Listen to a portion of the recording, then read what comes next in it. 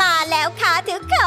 น รอกันอยู่ใช่ไหมคะ เวลาเดิมแบบนี้กับไฮไลท์บันเทิงเวิร์กพอยต์มีละครมาเสิร์ฟให้เหมือนเดิม วันนี้ขอเสนอละครเรื่อง แม่สื่อโลโซ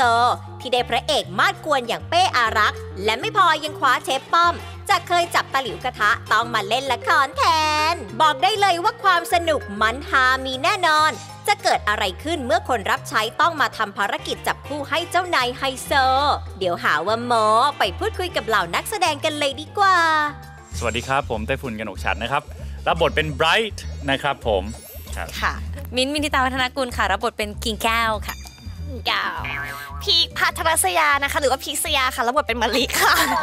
เจแปนพานุพันธ์ครับผมรับบทเป็นพุดดิ้งค่ะอันไหนเล่าหน่อยว่าละครเรื่องนี้มันเป็นยังไงคะซีดคือพี่จะบอกว่าเรื่องเนี้ยสนุกมากแม่สื่อโลโซ คือพี่มะลิเนี่ยนะคะกับพระเอกของเราพี่เป้เขาเป็นตัวดำเนินเรื่องที่จะต้องทำให้คู่รักของบ้านสองบ้านเนี่ยที่ไม่ถูกกันตั้งแต่ดั้งแต่เดิมเนี่ยคือ จะต้องมารักกันให้ได้ และที่สำคัญนะ ครอบครัวของ มะลิเนี่ยแล้วก็โดยที่มีน้องสาวเป็นพุดดิ้งเนี่ยคือติดหนี้มันมีเขาเรียกว่ามี conflict เกิดขึ้น ถ้าสมมุติไอ้เรื่องแบบนี้จะไม่เกิดขึ้นถ้า เราไม่มีคอน FLICT แต่เขาก็คงนึกภาพไม่ออกหรอกก็ไม่ดูต้องไปดูเท่านั้น เอิ่มเมากันไฟแลบมักจ้าหยุดเมาก่อน มาอีกคู่ที่แฟนๆรอชมสุดๆ อย่างน้องแฮนนาโฟอีฟและน้องภูมิแอดลาสเป็นยังไงบ้างเอ่ย สวัสดีค่ะ พวกเรามาจากละครเรื่อง แม่สื่อโลโซ Hannah for Eve นะคะ รับบทเป็นกรกฎค่ะ และภูมิแอนลารับบทเป็นบอมครับ ละครเรื่องนี้เป็นเรื่องแรกของทั้งคู่เลยไหมคะเนี่ย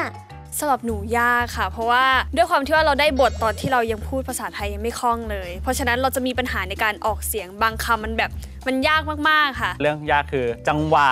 การพูดเราจะเอ้ยเอ้ยตอนนี้ต้องเล่นมุกยังวะเอ้ยตอนนี้จะอะไรยังวะอะไรอย่างเงี้ยมันก็เลยแบบยากมากแล้วก็พอเล่นกับพี่ๆนักแสดงที่เขาแบบเล่น comedy มาเยอะมากอะไรเงี้ยครับแล้วบางมุกคือมันขำมากอะบางทีเราก็ต้องแบบเล่นแล้วก็ต้องกั้นขำอะไรเงี้ยก็เลยแบบเป็นสิ่งที่ยากมากสำหรับเราครับผมก็อยากให้ทุกคนนะครับมารอติดตามกันเนาะละครเรื่องแม่สื่อโลโซนะครับเราจะมาดูกันว่าขบวนการแม่บ้านเนี่ยเขาจะจับพูดได้สำเร็จไหมจะบอกว่าแต่ละวิธีของเขาอะคนดูบาง หลายคนอะคิดไม่ถึงแน่นอน ใช่พีคทั้งนั้นค่ะ น่ารักอะ บอกแล้วว่าห้ามพลาดทั้งนักแสดงเอ่ยบทเอ่ยนาดูเวอร์ ครั้งหน้าจะเป็นเรื่องอะไรติดตามได้ในไฮไลท์บันเทิงเวิร์กพอยต์เวลาความสุข เวลา happy เวลา family หนึ่งทุ่มตรง ทุกวันจันทร์ถึงวันพุธกับละคร Workpoint